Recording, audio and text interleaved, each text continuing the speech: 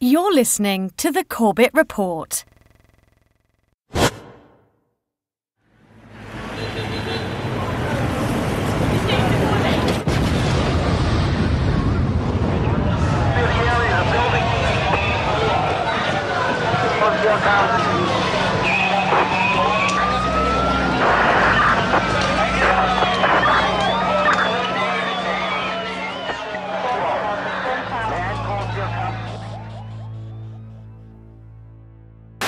Al Qaeda terrorist. Terrorist. Terrorist. September the 11th. Al Qaeda. 9 11 hijackers. Jihadist.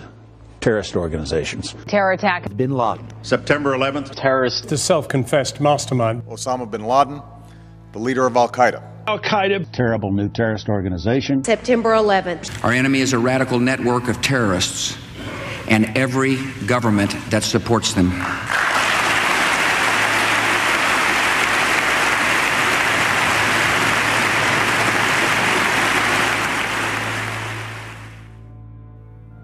Forget for one moment everything you've been told about September 11th, 2001.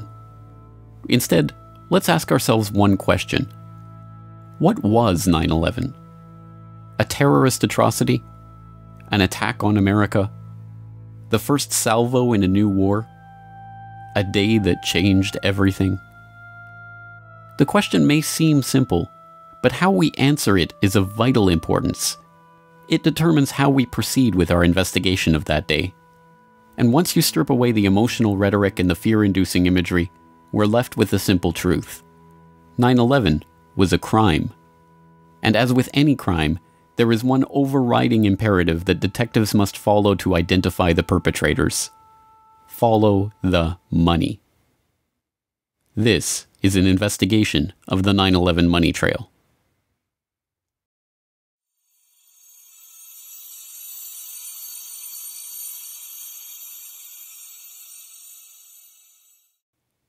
In 1998, the Port Authority of New York and New Jersey agreed to privatize the World Trade Center, the complex of office towers in lower Manhattan that they had owned and operated since their construction in 1973. In April 2001, an agreement was reached with a consortium of investors led by Silverstein Properties, and on July 24, 2001, Larry Silverstein, who already owned World Trade Center Building 7, signed a 99 year lease for the Twin Towers and Buildings 4 and 5. The lease was for $3.2 billion and was financed by a bridge loan from GMAC, the commercial mortgage arm of General Motors, as well as $111 million from Lloyd Goldman and Joseph Cayre, individual real estate investors. Silverstein Properties only put down $14 million of its own money. The deal was unusual in a variety of ways. Although the Port Authority carried only $1.5 billion of insurance coverage on the WTC complex, which earlier that year had been valued at $1.2 billion, Silverstein had insisted on doubling that amount, insuring the buildings for $3.55 billion. Silverstein's insurance broker struggled to put that much coverage in place and ultimately had to split it among 25 dealers. The negotiations were so involved that only temporary contracts were in place for the insurance at the time the lease was signed, and by September the contracts were still being finalized. Silverstein's group was also explicitly given the right to rebuild the structures if they were destroyed, and even to expand the amount of retail space on the site if rebuilding did take place. Within hours of the destruction of the Twin Towers on September 11th, Silverstein was on the phone to his lawyers, trying to determine if his insurance policies could construe the attacks as two separate insurable incidents rather than one. Silverstein spent years in the courts attempting to win $7.1 billion from his $3.55 billion insurance policy, and in 2007 walked away with $4.55 billion, the largest single insurance settlement ever. As soon as the deal was announced, Silverstein sued United and American Airlines for a further $3.5 billion for their negligence in the 9 11 attacks, a claim that was struck down by the courts but is still on appeal. Perhaps even more outrageously, in a secret deal in 2003, the Port Authority agreed to pay back 80% of their initial equity in the lease, but allowed the Silverstein Group to maintain control of the site. The deal gave Silverstein, Goldman, and Cayre 98 million of the 125 million dollars they put down on the lease, and a further 130 million in insurance proceeds that were earmarked for the site's rebuilding.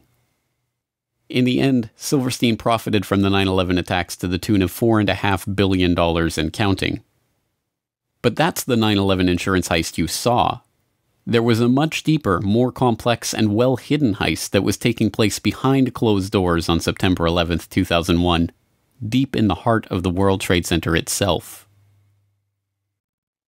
Marsh & McLennan is a diversified risk, insurance, and professional services firm with over $13 billion in annual revenue and 57,000 employees. In September of 2001, 2,000 of those employees worked in Marsh's offices in the World Trade Center. Marsh occupied floors 93 to 100 of the North Tower, the exact area of the impact and explosion. In the year prior to 9 11, Marsh had contracted with Silverstream Software to create an electronic connection between Marsh and its clients for the purpose of creating paperless transactions. Silverstream had already built internet based transactional and trading platforms for Merrill Lynch, Deutsche Bank, Bankers Trust, Alex Brown, Morgan Stanley, and other financial services firms that were later involved in 9 11. But this new project was unlike anything that had been attempted before. Richard Andrew Grove, the salesperson who handled the Marsh & McLennan project for Silverstream, explains. 2000, Silverstream was contracted by Marsh to provide a technological solution beyond what we had done for any of the above named companies insofar as it will be used to electronically connect Marsh to its major business partners via internet portals for the purpose of creating paperless transactions and expediting revenue and renewal cycles, and built from the ground up at the client's site. Silverstream provided a specific type of connectivity that was used to link AIG and Marsh & McLennan, the first two commercial companies on the planet to employ this specific type of transaction. And in fact, Marsh was presented with something called the ACORD Award, A-C-O-R-D, in the summer of 2001 for being the first commercial corporation to do so. And what you should take away from that is this. It means that no other companies were doing this type of transaction, so the question in your mind should be, what then were Marsh and AIG doing, and why did they need to leverage technologies that no other commercial entity on the face of the earth needed to conduct business? The contract, Silverstream then stationed approximately 30 to 40 developers at Marsh, and this team was led by two to three managers with whom I liaised to ensure delivery of the solution that was promised. The development team worked regularly into the night, if not all night, and sometimes worked seven days a week in order to adhere to Marsh's indicated pre-September 11th deadline. Now, while I was but it was not long before severe irregularities in the billing of the account for this project led Richard Grove into the heart of a deeper mystery about the software and about the work that he was engaged in. This fiscal anomalies with respect to the Marsh.com project when I was in a meeting on the 98th floor in October of 2000 with a gentleman named Gary Lasko. Gary was Marsh's North American Chief Information Officer, and that particular afternoon a colleague and I helped him identify about $10 million in suspicious purchase orders after I had recognized that certain vendors were deceiving Marsh and specifically appeared to be selling Marsh large quantities of hardware that were not necessary, as this was later confirmed by Gary. In the spring of 2000, I brought my concerns up to executives inside of Silverstream and I was urged to keep quiet and mind my own business. I went to an executive inside of Marsh, and he advised me to do likewise.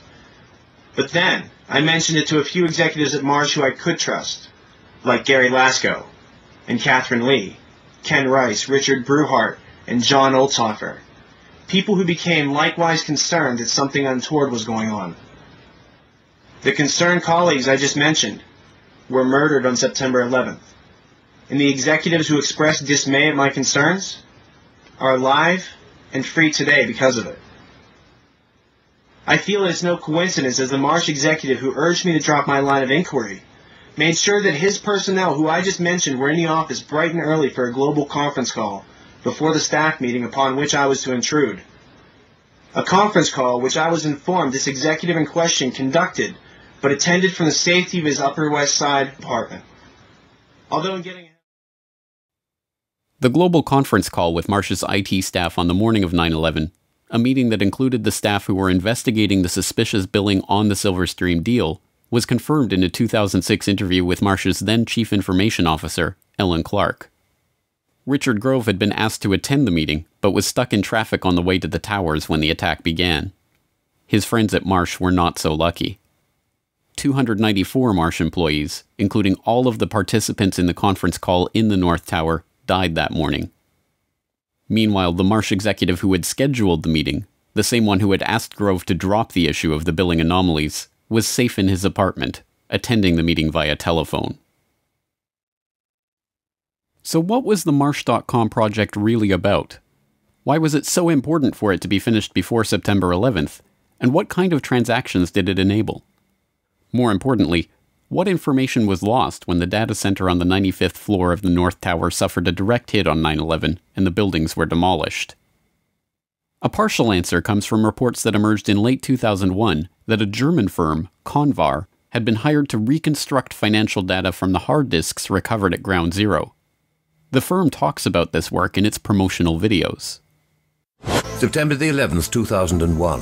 The whole world is in shock following the attacks on the World Trade Center. Convar has some solutions to offer.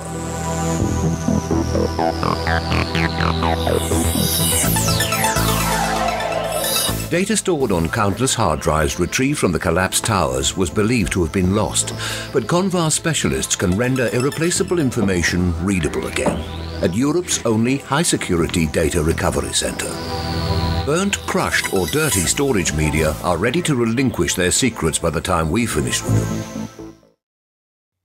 More details about the work comes from an IDG news service story posted to CNN.com in December 2001.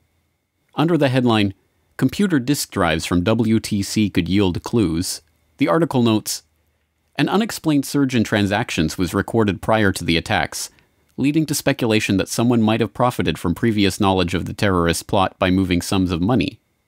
But because the facilities of many financial companies processing the transactions were housed in New York's World Trade Center, destroyed in the blasts, it has, until now, been impossible to verify that suspicion. A Reuters article from the same time, later posted to Convar's website, offers revealing glimpses into the investigation's early results. It quotes Peter Henschel, Convar's director at the time.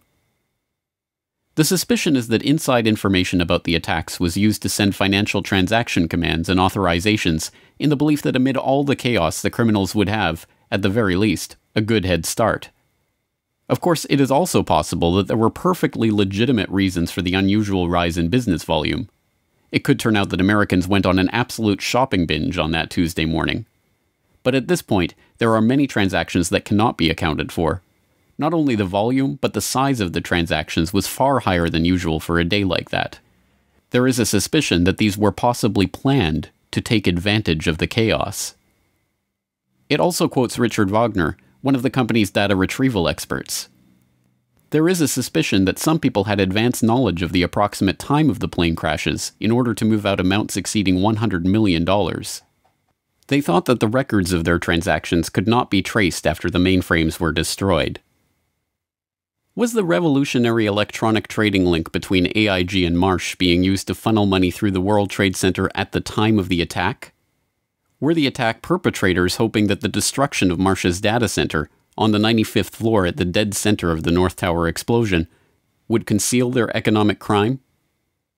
One piece of corroborating evidence for the idea comes from author and researcher Michael Ruppert, who reported in 2004 that immediately before the attacks began, computer systems in Deutsche Bank, one of Silverstream's other E-Link clients, had been taken over from an external location that no one in the office could identify. With within, I would guess I'd have to go back and look at the book, but it was no more than a week after the attacks. Um, I was being contacted by a lot of people uh, from uh, inside official sources who were raising a lot of questions. This one particular person was extremely credible. Uh, they absolutely convinced me they had been a, a, an employee of Deutsche Bank uh, in the Twin Towers.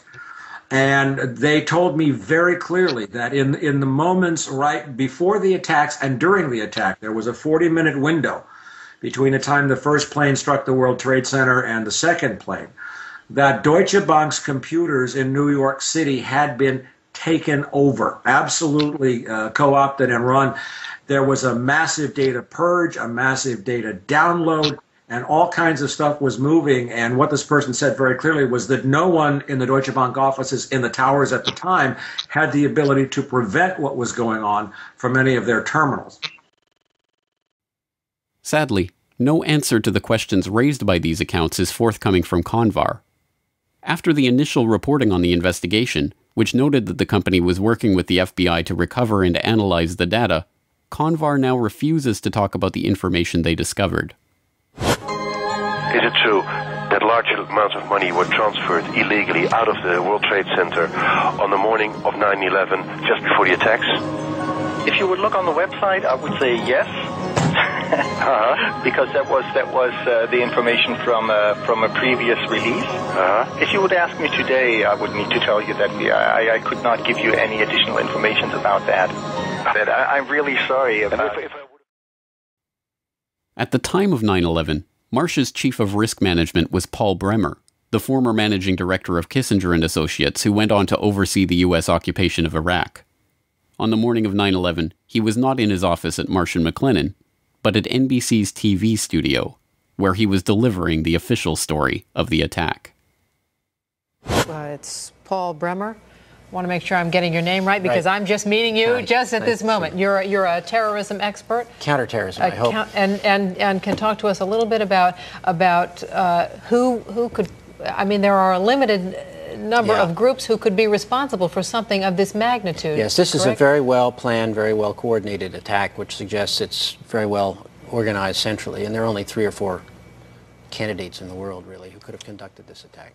Bin Laden comes to mind right away, Mr. Bremer. Indeed, he certainly does. Bin Laden was involved in the first attack on the World Trade Center, which had as its intention doing exactly what happened here, which was to collapse both towers he certainly has to be a prime suspect. But there are others in the Middle East, and uh, there are at least two states, Iran and Iraq, which should at least remain on the list of potential suspects. What, what kind of I, I, don't recall anything like this. I, I, Pearl Harbor happened a month before I was born, and I hear my parents talk about that as a seminal event in their lives all the time. I am not aware of anything like this in the United States before. Americans are now, I think it's fair to say, really scared. Uh, should should we be? This is a day that will change our lives, isn't it? It is a day that will change our lives. It's a day when the war that the terrorists declared on the United States, and after all, they did declare war on us, uh, has been brought home to the United States in a much more dramatic way than we've seen before. So it will change our lives.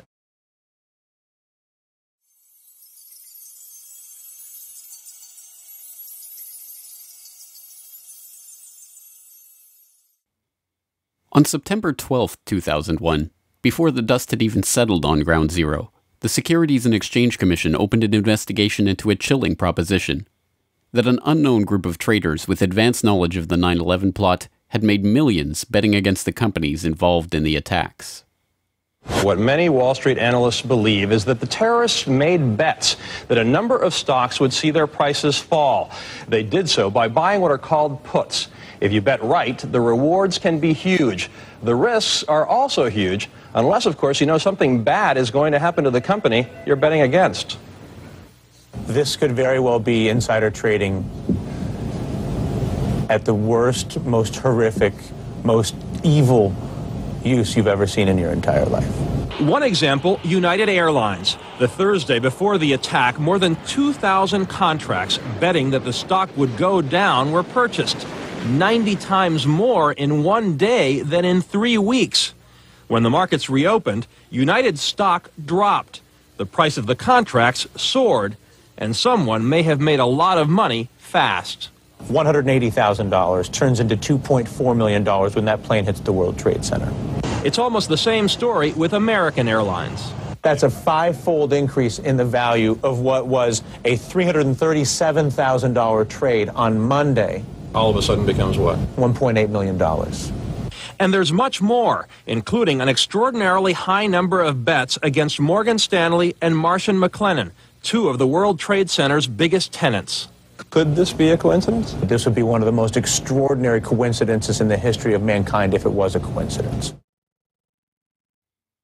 Although the put options on American and United Airlines are usually cited in reference to the 9 11 insider trading, these trades only represent a fraction of the suspicious trades leading up to the attack. Between August 20th and September 10th, abnormally large spikes in put option activity appeared in trades involving dozens of different companies whose stocks plunged after the attack, including Boeing, Merrill Lynch, JP Morgan, Citigroup, Bank of America, Morgan Stanley, Munich Re, and the AXA Group. Traders weren't just betting against the companies whose stocks dove after 9 11, however. There was also a six-fold increase in call options on the stock of defense contractor Raytheon on the day before 9-11. The options allowed the traders to buy Raytheon stock at $25, within a week of the attack, as the American military began deploying the Raytheon supplied Tomahawk missiles they would eventually use in the invasion of Afghanistan, the company's share price had shot up 37% to over $34. The SEC weren't the only ones interested in this particular 9 11 money trail either. Investigations into potential insider trading before the attacks were opened by authorities around the globe, from Belgium to France to Germany to Switzerland to Japan. It wasn't long before this global financial manhunt started yielding clues on the trail of the terror traders. On September 17th, Italian Foreign Minister Antonio Martino, addressing Italian Consob's own investigation into potential 9 11 trading, said, I think there are terrorist states and organizations behind speculation on the international markets. By September 24th, the Belgian finance minister was confident enough to publicly announce Belgium's strong suspicions that British markets may have been used for transactions. The president of Germany's central bank was the most adamant. What we found makes us sure that people connected to the terrorists must have been trying to profit from this tragedy. These foreign leaders were not alone in their conviction that insider trading had taken place. University of Chicago finance professor George Constantinides, Columbia University law professor John Coffee, Duke University law professor James Cox, and other academics, as well as well known options traders like John Najarian, all expressed their belief that investors had traded on advanced knowledge of the attacks. The scale of the SEC investigation was unprecedented, examining over 9.5 million securities transactions, including stocks and options in 103 different companies trading in seven markets, 32 exchange traded funds, and stock indices. The probe drew on the assistance of the legal and compliance staff of the 20 largest trading firms and the regulatory authorities in 10 foreign governments. The Commission coordinated its investigation with the FBI, the Department of Justice, and the Department of the Treasury. The results of this investigation? We have not developed any evidence suggesting that those who had advanced knowledge of the September 11th attacks traded on the basis of that information. Although this sounds like the investigation did not find evidence of insider trading, a second look reveals the trick. They are not saying that there was no insider trading, only that there is no evidence that those who had advanced knowledge of the September 11th attacks participated in such trading. But this begs the question who had that advanced knowledge, and how did the SEC determine this? The 9 11 Commission report begs the question even more blatantly in their treatment of the anomalous put option activity on United Airlines stock on September 6th. 95% of the puts were placed by a single US based institutional investor with no conceivable ties to Al Qaeda. Again, it is taken as a foregone conclusion that a lack of ties to Al Qaeda means there could not have been advanced knowledge of the attack, even if the evidence shows that insider trading took place. To be sure, insider trading almost certainly did take place in the weeks before 9 11. Although some have used the Commission report to conclude that the story was debunked, the intervening years have seen the release of not one, not two, but three separate scientific papers concluding with high probability that the anomalous trading was the result of advanced knowledge. In Unusual Option Market Activity in the Terrorist Attacks of September 11, 2001, University of Chicago professor Alan Poteshman concluded Examination of the option trading leading up to September 11th reveals that there was an unusually high level of put buying. This finding is consistent with informed investors having traded options in advance of the attacks. In Detecting Abnormal Trading Activities in Option Markets, researchers at the University of Zurich used econometric methods to confirm unusual put option activity on the stocks of key airlines, banks, and reinsurers in the weeks prior to 9/11. And in was there abnormal trading in the S&P 500 index options prior to the September 11th attacks? A team of researchers concluded that abnormal activity in the S&P index options market around the time of the attack is consistent with insiders anticipating the 9/11 attacks. The only question, then, is who was profiting from these trades, and why was no one ever indicted for their participation in them? One lead is pursued by researcher and author Kevin Ryan. In Evidence for Informed Trading on the Attacks of September 11th, he examines an FBI briefing document from 2003 that was declassified in 2009. It describes the results of FBI investigations into two of the pre 9 11 trades that the Bureau had identified as suspicious including the purchase of 56,000 shares of Stratesec in the days prior to 9 11.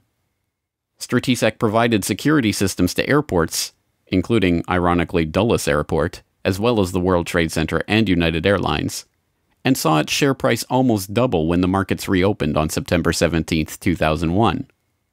The trades traced back to a couple whose names are redacted from the memo, but are easily identifiable from the unredacted information. Mr. and Mrs. Wirt D. Walker III, a distant relative of the Bush family and business partner of Marvin Bush, the president's brother. The document notes that the pair were never even interviewed as part of the investigation because it had revealed no ties to terrorism or other negative information. In addition to begging the question, this characterization is provably false, as Ryan noted in a conversation with financial journalist Lars Schall. Wirt Dexter Walker at Stratesec hired several people from a, a, company called the Carlyle Group. And the Carlyle yeah. Group had bin Laden family members as investors. Um, also, Wirt Walker's fellow director James Abrahamson was in close a close business associate of a man named Mansour Ijaz, a Pakistani businessman. And Mansour Ijaz claimed to be able to contact Osama bin Laden on multiple occasions. So there does seem to be some circumstantial evidence indicating that these people were connected to Al Qaeda, at least to the point where we should investigate. And isn't it true that all, uh, also some members of the bin Laden family were actually in Washington at a, a gathering of the Carlyle Group on 9 11?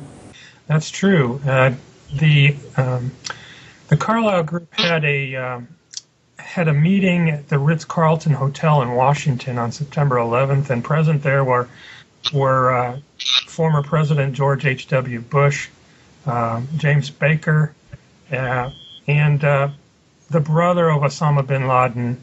I believe his name was Salem. I can't recall his exact name, but they were there, investors uh, from the bin Laden family, meeting with Carlyle Group representatives in Washington on September 11th.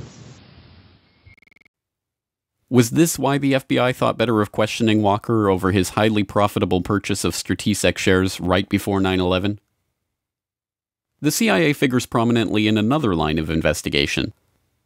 One suspicious United Airlines put option purchase that was investigated by the FBI involved a 2,500 contract order for puts in the days before 9 11. Instead of processing the purchase through United Airlines Home Exchange, the Chicago Board of Options Exchange, the order was split into five 500 contract chunks and run through five different options exchanges simultaneously. The unusual order was brokered by Deutsche Bank Alex Brown, a firm that until 1998 was chaired by A.B. Buzzy Krongard, a former consultant to CIA Director James Woolsey, who at the time of 9 11 was himself the executive director of the CIA. So right after the attacks of 9/11, uh, the uh, the name Buzzy Krongard surfaced, and just the, it was instant research that revealed that Buzzy Krongard had been uh, allegedly recruited by CIA Director George Tenet to become the executive director at CIA, which is the number three position right before the attacks. Uh, uh, and, and and Alex Brown was one of the uh, then a subsidiary of Deutsche Bank uh, was one of the primary instruments or vehicles that handled all of these criminal uh, trades by people who obviously knew that the attacks were going to take place where, how, and, and involving specific airlines. Perhaps the most frank admission of insider trading is notable for three things.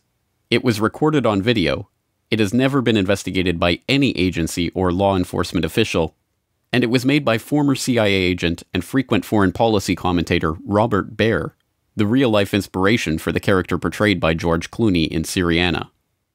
Talking to citizen journalists after a speaking event in Los Angeles in 2008, Baer was recorded on video making a startling assertion about 9 11 insider trading last thing I would leave you with is National Reconnaissance Office was running a, a, drill. A plane crashed into their building, and you know they're staffed by DoD I and know CIA. That, right? I know the guy that went into his broker in San Diego and, and said, "Cash me out. It's going down tomorrow."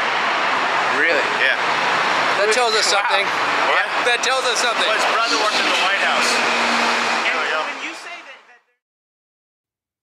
This truly remarkable statement bears further scrutiny.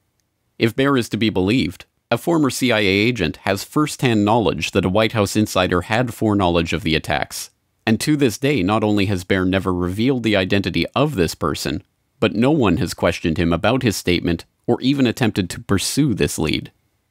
So, how is it possible that the SEC overlooked, ignored, or simply chose not to pursue such leads in their investigation?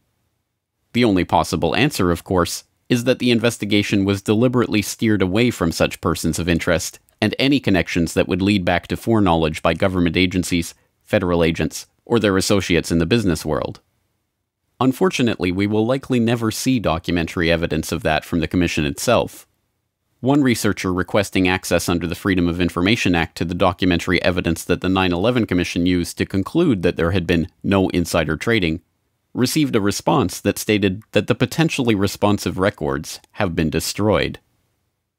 Instead, we are left with sources that refuse to be identified, saying that CBOE records of pre 9 11 options trading have been destroyed, and second-hand accounts of traders who had heard talk of an event in advance of 9 11. In a roundabout way, perhaps the 9 11 Commission reveals more than it lets on when it tries to dismiss key insider trades with the pithy observation that the traders had no conceivable ties to Al Qaeda. If those with foreknowledge of the attacks weren't connected to Al Qaeda, what does that say about the identity of the real 9 11 perpetrators? ABC News has now learned that the Chicago Board of Options Exchange launched their investigation into the unusual trading last week. That may have given them enough time to stop anyone from profiting from death here in the U.S. It may also give investigators, Peter, a hot trail that might lead them to the terrorists. Thanks very much. As a reminder of the complex complications here, though, the Secretary of the Treasury said today of this investigation, you've got to go through 10 veils mm-hmm. before you get to the real source. Yep. Thanks, Antonio.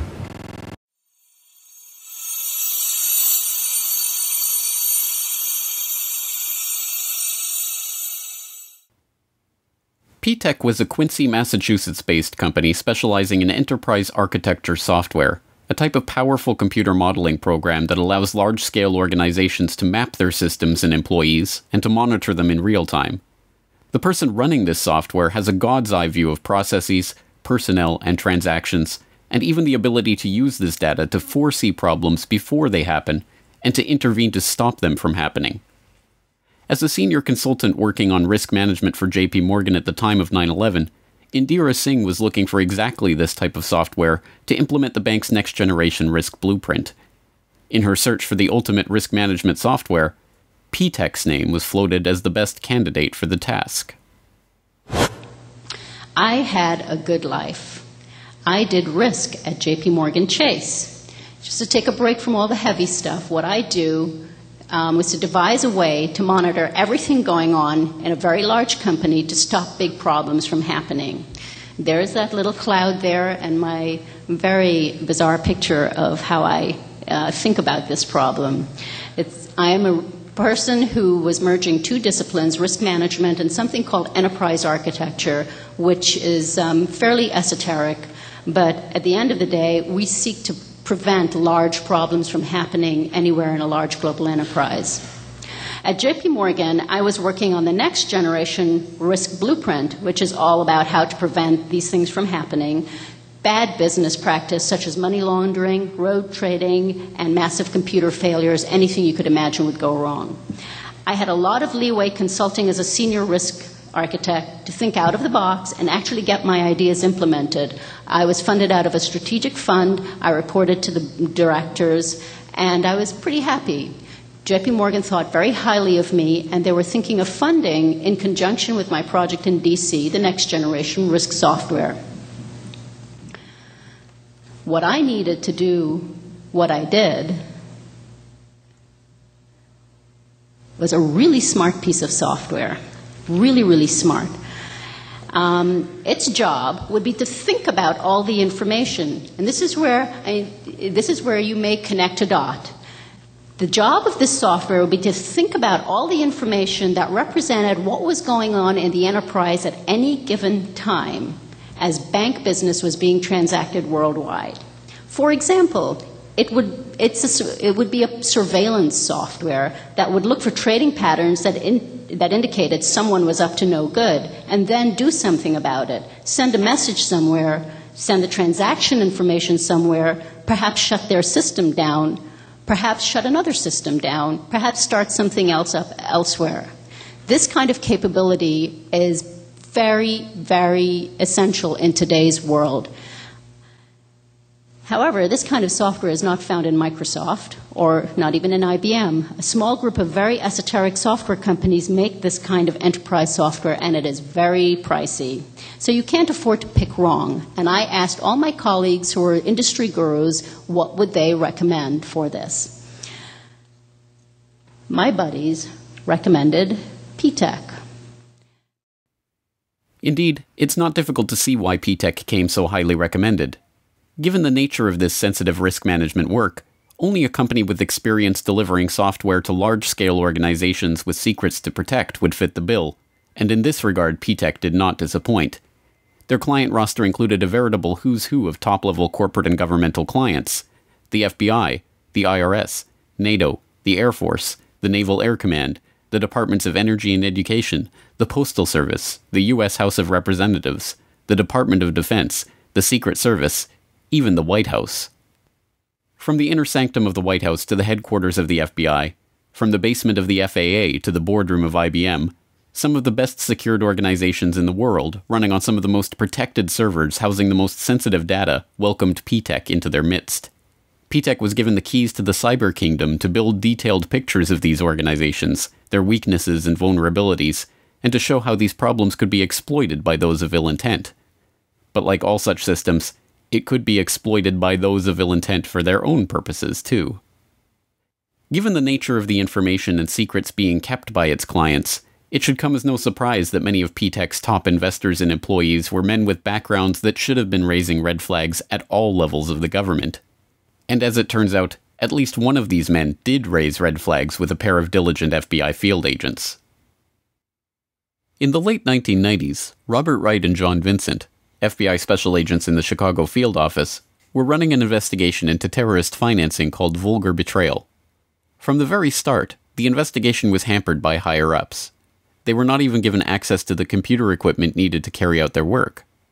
Through Wright and Vincent's foresight and perseverance, however, the investigation managed to score some victories, including seizing $1.4 million in terrorist funds.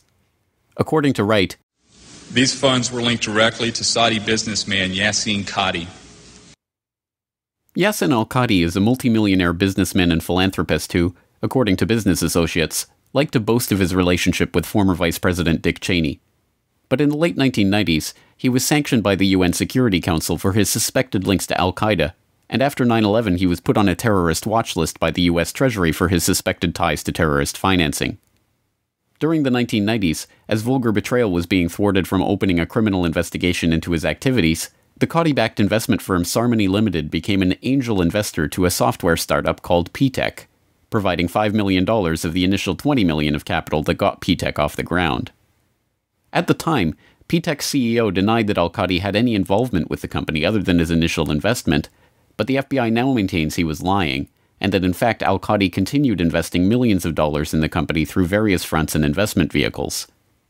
Company insiders told FBI officials that they were flown to Saudi Arabia to meet P-TECH's investors in 1999, and that Al Qadhi was introduced as one of the owners.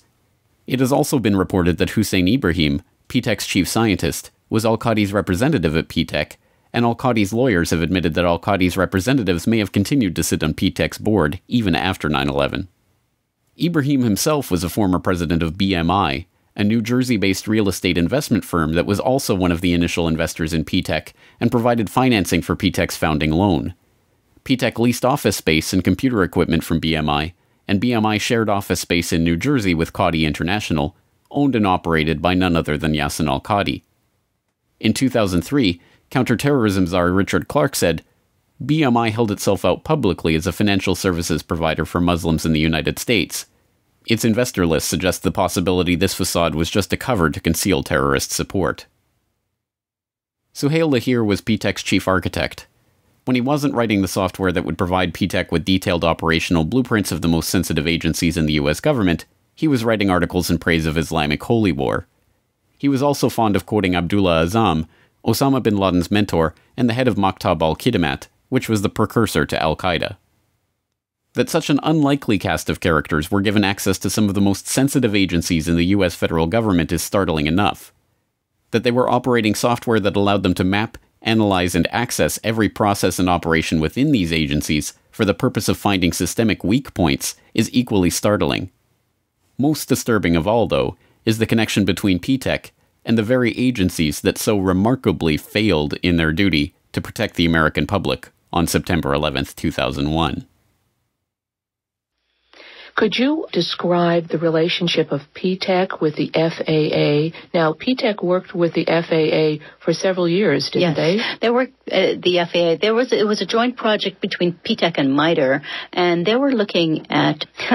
it's interesting. They were looking at basically holes in the FAA's interoperability with uh, responding with other agencies, law enforcement, in the case of an emergency such as a hijacking. So they were looking for the escalation process, what people would do, how they would respond in case of an emergency, and find the holes and make recommendations to fix it. Now, if anyone was in a position to understand where the holes were, P-TECH was, and that's exactly the point. And if anybody was in a position to write software to take advantage of those holes, it would have been P-TECH. Now, was there a reference to P-TECH having operated in the basement out of the FAA? Yes.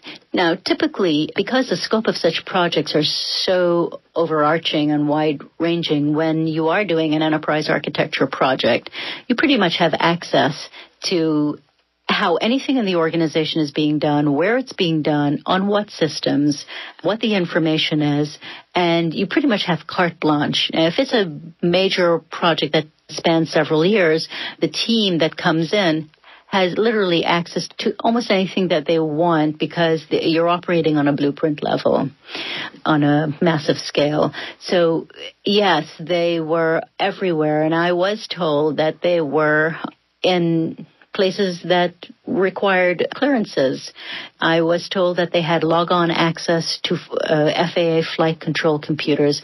I was told that they had passwords to many computers that you may not on the surface think has anything to do with finding out holes in the system. But let's say you've said, okay, you isolated a part of a process of a notification process that was mediated by a computer and you wanted to investigate it further, then you would typically get log on access to that computer. And from that back upstream or downstream, so who knows? You know, uh, from my own experience, I could have access to almost anything I wanted to in JP Morgan Chase and didn't for the reason I, if anything went wrong, I didn't want to have the access. But if you were up to no good as an enterprise architect with such a mandate, you typically could have anything you wanted. So, who was really behind P-TECH? Did Ziade, Ibrahim, and the others somehow evade the due diligence of all of the government agencies and multinational corporations that P-TECH contracted with? Did P-TECH just happen to end up working on the interoperability of the FAA and the Pentagon systems on the morning of 9 11? Did Al Qadi's friend Dick Cheney really know nothing of Qadi's connections or activities? Was this all some devious Al Qaeda plot to infiltrate key systems and agencies of the US government? Not according to the people who were really investigating the company.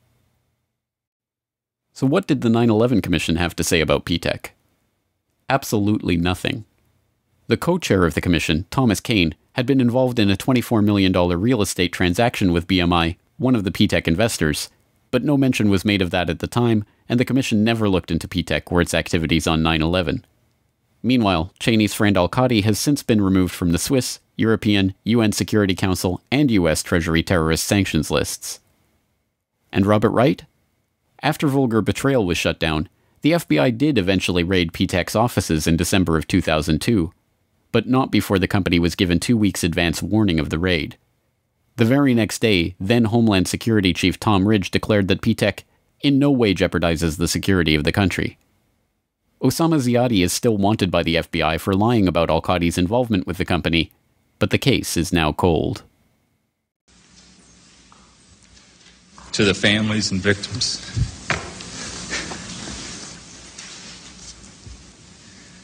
of September 11th, on behalf of uh, John Vincent, Barry Carmody, and myself, we're sorry.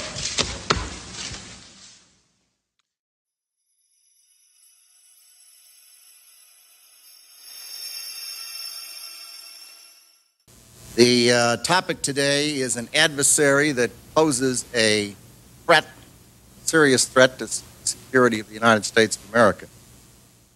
This adversary is one of the world's last bastions of central planning Governs by dictating five year plans.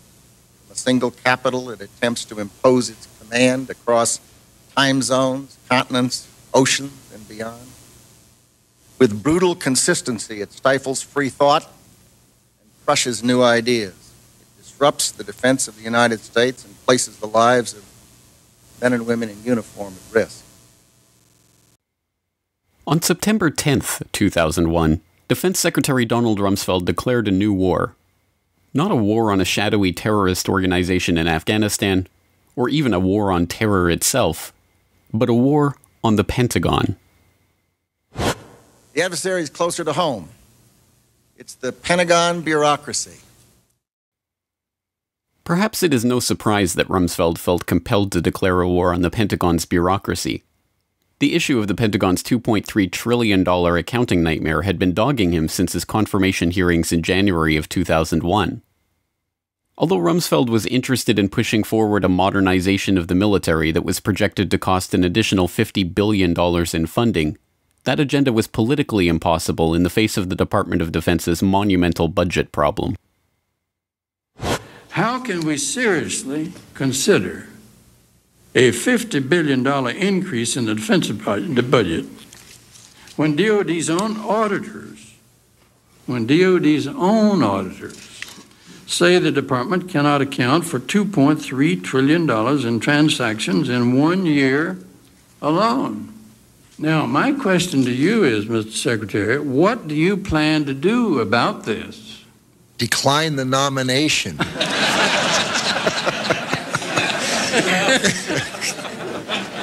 oh, it, it, uh, Senator, I have heard. I don't want to see you do that. we'll stand adjourned in that Senator, I have heard some of that and read some of that. Um, that the department is not capable of auditing its books. It, it is. Um, I was going to say terrifying. Terrifying only begins to describe the problem. The Department of Defense's own Inspector General report for fiscal year 1999 noted that the Defense Finance and Accounting Service had processed $7.6 trillion of department level accounting entries in that year. Of that amount, only 3.5 trillion could be properly accounted for. 2.3 trillion dollars in transactions were fudged to make entries balance, run through without proper documentation, or made up entirely. The Inspector General's office did not even examine the other $1.8 trillion in transactions because they did not have adequate time or staff to review them. In 2002, one DFAS accountant blew the whistle on the problem and the cover up that was underway to stop investigators from finding out where the money went. According to some estimates, we cannot track $2.3 trillion in transactions. 2.3 trillion with a T. That's $8,000 for every man, woman, and child in America. To understand how the Pentagon can lose track of trillions, consider the case of one military accountant who tried to find out what happened to a mere 300 million. We know it's gone, but we don't know what they spent it on. Jim Minnery, a former Marine turned whistleblower, is risking his job by speaking out for the first time about the millions he noticed were missing from one defense agency's balance sheets.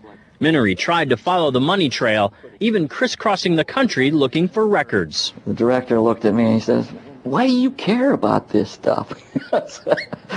it took me aback, you know. My supervisor asked me why I care about doing a good job. So. He was reassigned and says officials then covered up the problem by just writing it off. As controller of the Pentagon from 2001 to 2004, Dov Zakheim was the man tasked with solving this problem. There are all kinds of long-standing rules and regulations about what you can do and what you can't do. I know Dr. Zakheim's been trying to hire CPAs because the financial systems of the department are so snarled up that we can't account for some $2.6 trillion in transactions that exist, if that's believable. Uh, and, and yet we're told that we can't hire CPAs to help untangle it in many respects. Uh, Mr. Secretary, uh, the first time and, and the last time that, that Dov Zakheim and I uh, broke bread together, he told me you'd have a handle on, on that uh, 2.6 trillion by now, but we'll, we'll, we'll discuss that a little. You've got a handle, it's just a little hot. From 1987 to 2001, Zakheim headed SPC International, a subsidiary of System Planning Corporation, a defense contractor providing air warfare, cybersecurity, and advanced military electronics to the Department of Defense and DARPA. SPC's Radar Physics Laboratory developed a remote control system for airborne vehicles that they were marketing to the Pentagon prior to 9 11. Zakheim was also a participant in drafting Rebuilding America's Defenses, a document that called for a sweeping transformation of the U.S. military including the implementation of the $50 billion missile defense program and increased use of specialized military technologies. The paper even noted how advanced forms of biological warfare that can target specific genotypes may transform biological warfare from the realm of terror to a politically useful tool. Rebuilding America's Defenses was a white paper produced by the Project for the New American Century a group founded in 1997 with the goal of projecting American global dominance into the 21st century. Joining Zakheim in the group were a host of other neocons who ended up populating the Bush administration, including Dick Cheney, Paul Wolfowitz, Richard Perle, Jeb Bush, and Donald Rumsfeld.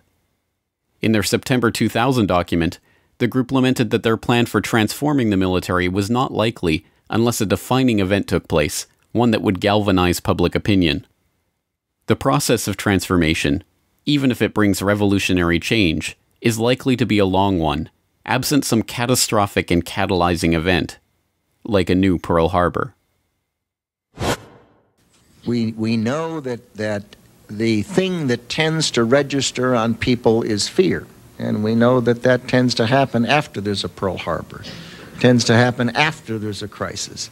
And that's too late for us. We've got to be smarter than that. We've got to be wiser than that. We have to be more forward looking. Um, there's a wonderful book on Pearl Harbor by Roberta Wohlstetter and, and a um, foreword by Dr. Schelling that talks about this, this problem of, of seeing things happen and not integrating them in your mind and saying, yes, we need to be doing something about that now. Uh, that, that I, I reread periodically uh, because it's so important. And on 9 11 2001, America received its new Pearl Harbor. The attack on the Pentagon struck Wedge 1 on the west side of the building. An office of the U.S. Army called Resource Services Washington had just moved back into Wedge 1 after renovations had taken place there. The office was staffed with 45 accountants, bookkeepers, and budget analysts 34 of them were killed in the attack. A 2002 follow up report from the DoD Inspector General on the missing trillions noted that a further $1.1 trillion in made up accounting entries were processed by the Pentagon in fiscal year 2000, but they did not even attempt to quantify the missing funds for 2001. The Secretary of the Army, Thomas White, later explained they were unable to produce a financial report for 2001 at all due to the loss of financial management personnel sustained during the September 11th terrorist attack. Before becoming Secretary of the Army, Thomas White was a senior executive at Enron. Enron was one of the largest energy companies in the world, posting a $111 billion profit in 2000 before being exposed as an elaborate corporate accounting fraud in 2001. The SEC, which investigated the Enron scandal, occupied the 11th to 13th floors in World Trade Center Building 7, and their offices were destroyed on 9 11, destroying 3,000 to 4,000 documents on active investigations in the process. Perhaps unsurprisingly, Rumsfeld's war on the Pentagon's bureaucracy did not yield the results he promised. By 2013, the unaccountable money in the Pentagon's coffers had reached $8.5 trillion. The latest scandal to hit Washington comes from a report revealing the Pentagon misplaced $8.5 trillion. Military leaders have also been found ordering subordinates to doctor books to hide the missing money. This is the conclusion of a special report by Reuters. One former Pentagon employee, Linda Woodford, said she spent 15 years there falsifying financial records. Woodford had a job checking Navy accounting records against figures supplied by the Treasury Department. She said money was missing from the report every month. And national security expert Steve Miles is here with me to help us crunch the, these numbers. Eight and a half trillion dollars unaccounted for. It's a lot of money. Um, this is the kind of thing that you would think would bring Capitol Hill to a screeching halt. There'd be hearings kind of almost daily. You'd have various committees looking into it. None of that. It just leads to massive waste, and there can be all sorts of fraud that you don't know about. Just one example: um, when the Inspector General looked at Iraq, which was you know a lot of money, but in the grand scheme, just a portion of the money the U.S. spends. What they found was about 50 billion dollars of the money the U.S. spent there was wasted, and about six billion dollars was completely lost. They had no idea where it went. They, it was completely unaccounted for. But put that in perspective, that's about this amount of money that other countries would spend on their defense in a year total. And that's just the loose pocket change that we lost in the couch. One thing I found very interesting in this mm-hmm. report is that the Pentagon apparently uses a standard operating procedure to enter false numbers Mm-hmm. or so-called plugs to cover lost or missing information in their accounting in order to submit a balanced budget to the Treasury. So they can write in everything. It, it- I mean, that's probably the most shocking part of this is that they get to the end of the day and they say, oh, there's, there's money missing. What do we do? Well, we'll just put a number in there that says it's there and we'll sort it out later. I mean, again, this is, this is the type of operating practice that if you did it in your own business, if you tried to do it with your own taxes for the government, they'd haul you off to jail. But then, given that the trillions have never been accounted for, and given that American defense spending soared to record levels after the attack, perhaps Rumsfeld's war on the Pentagon, the one he announced on September 10th, was successful after all. And perhaps September 11th was the key battle in that war. Some might ask how in the world could the Secretary of Defense attack the Pentagon in front of its people? To them, I reply I have no desire to attack the Pentagon. I want to liberate it.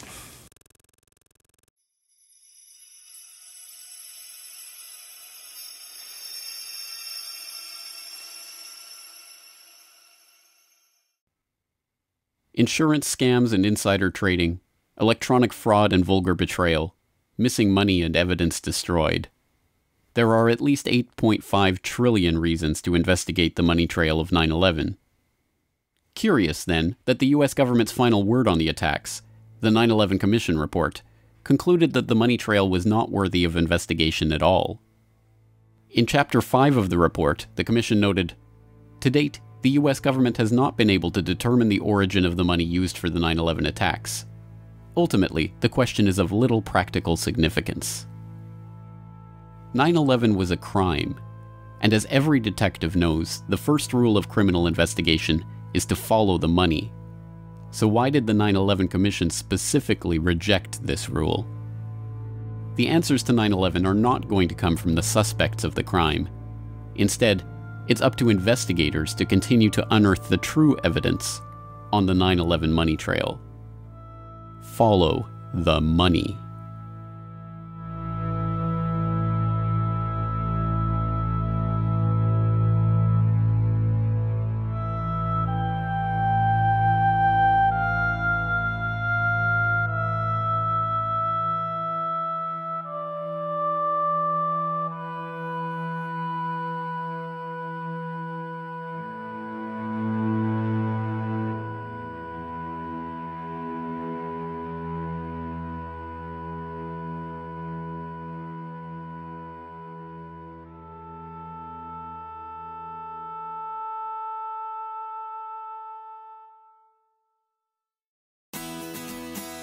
The Corbett Report is brought to you by the Corbett Report subscriber. A weekly newsletter featuring James Corbett's International Forecaster editorial, recommended reading and viewing, discounts on Corbett Report DVDs, and once a month, a subscriber only video.